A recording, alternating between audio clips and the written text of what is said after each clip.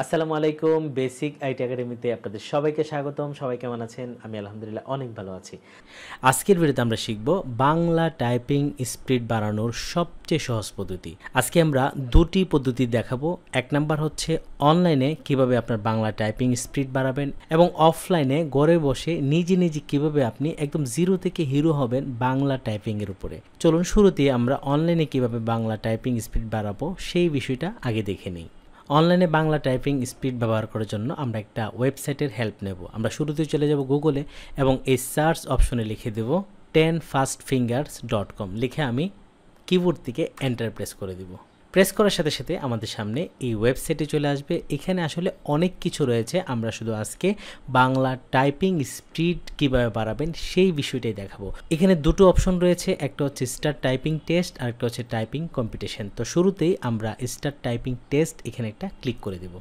Click করার সাথে সাথে আমাদের সামনে কিন্তু টাইপিং করার জায়গাটি চলে আসলো এবং এখানে এই যে দেখেন একটা মিনিট দেওয়া আছে, এক মিনিটে এই লেখাটা যদি আপনি লিখতে পারেন তাহলে কিন্তু আপনি সাকসেস হতে পারবেন। এবং এখান থেকে আসলে আমরা আজকে বাংলা টাইপিং শিখব। তো বাংলা টাইপিং শেখার জন্য এই যে দেখতে পাচ্ছেন এখানে ল্যাঙ্গুয়েজ ইংলিশ রয়েছে, আমরা এই রচনীতে ক্লিক করে দেব এবং এখান থেকে এই যে বাংলা ল্যাঙ্গুয়েজ সিলেক্ট করে দেবো।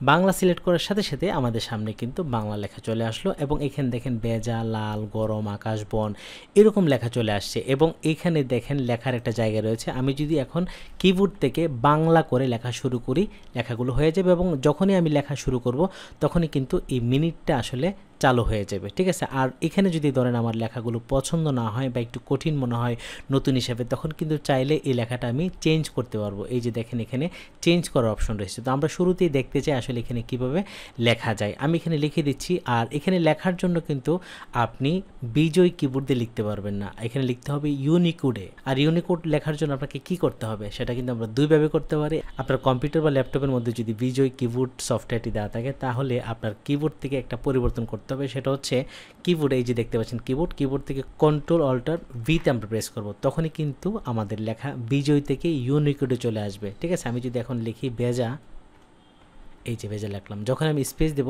দেখেন এখানে লেখাটা কিন্তু পরিবর্তন হয়ে মানে গ্রিন হয়ে গেল। আমি যদি ভুল লিখি, তখন কিন্তু এটা লাল দেখাবে। ধরেন আমি লাল লিখতে গিয়ে, এই যে লাল, আমি এখানে ধরেন স দিয়ে দিলাম। দেখেন এটা কিন্তু লাল হয়ে গেল। স্পেস দিলে এই যে ভুল হয়ে গেছে। এখন যদি আমি গরম লিখি, গরম গরম। স্পেস দিই। তার মানে আমি যখন সঠিক লিখব, তখন কিন্তু এটা গ্রিন হয়ে সামনের দিকে আগাবে। তার মানে এই লেখাগুলো আপনি আস্তে আস্তে করে শেষ করবেন। এখন আপনি যত তাড়াতাড়ি লিখবেন, তত কিন্তু লেখাগুলো শেষ হবে, নতুন লেখা আসবে। এবং এখানে দেখেন সেকেন্ড কিন্তু শেষ হয়ে যাচ্ছে অলরেডি তো এখান থেকে যদি আমার মনে হয় যে, না, এই লেখাটা আমার পছন্দ না বা এই লেখাগুলো অনেক কঠিন, তখন দেখতে পাচ্ছেন এখানে চেঞ্জ করার একটা জায়গা আছে। আমি যদি এখানে একটা ক্লিক করে দিই, তখন কিন্তু আমার লেখাটা চেঞ্জ হয়ে যাবে। যদি এটাও পছন্দ না হয়, আমি আবারও চেঞ্জ করতে পারব।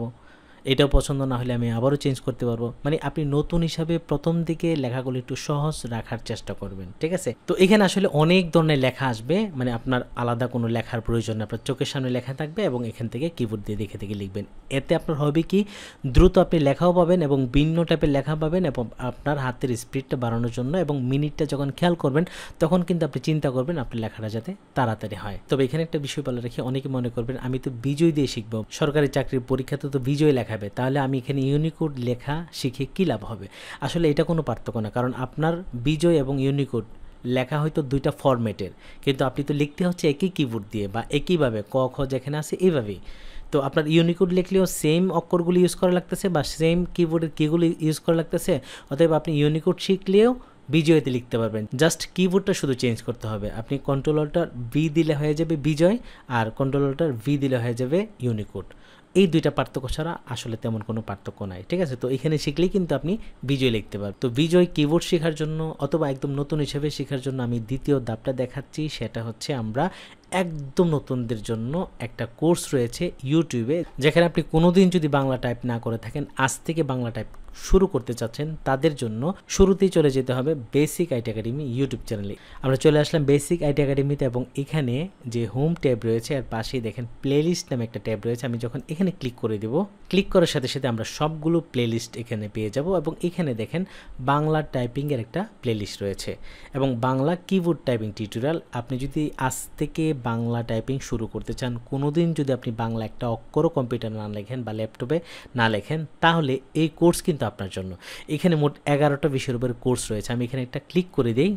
ক্লিক করার সাথে সাথে এখানে দেখেন এগারো পর্বের একটা কোর্স আপনার সামনে চলে আসে এবং আপনি যদি একদম শুরু থেকে শেষ পর্যন্ত প্রত্যেকটা ভিডিও দেখতে চান, তাহলে প্লে হলে ক্লিক করে দেবেন অথবা আপনি এক নাম্বার ভিডিওতে ক্লিক করলে কিন্তু প্রথম ভিডিও শুরু হবে। তো আপনি যদি আজ থেকে প্রথম বাংলা টাইপিং শুরু করতে চান এবং বাংলা টাইপিং শেখার জন্য যা যা দরকার, যুক্তবর্ণ কীভাবে লিখতে হবে, হাতের আঙ্গুল কোন অক্ষর, কখন কোনটা লিখতে হবে, কোন অক্ষরগুলো আগে, কোন অক্ষরগুলো পরে শিখতে হবে এবং হাতের স্পিড বাড়ানোর জন্য যত রকমের টিপস রয়েছে, এই সবগুলো কিন্তু একদম শেষ পর্বের মধ্যে বিস্তারিত দেওয়া আছে।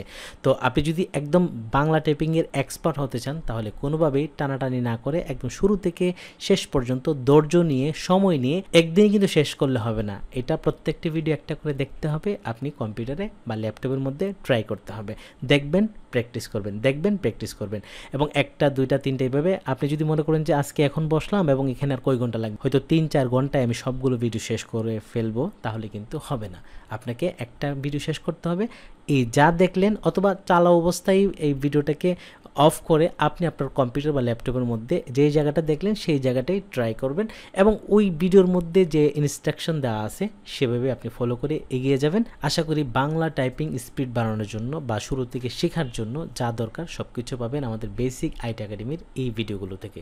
আশা করি এই ভিডিওগুলো আপনাকে অনেক বেশি হেল্প করবে বাংলা টাইপিং শেখার জন্য এবং বাংলা টাইপিং স্পিড বাড়ানোর জন্য।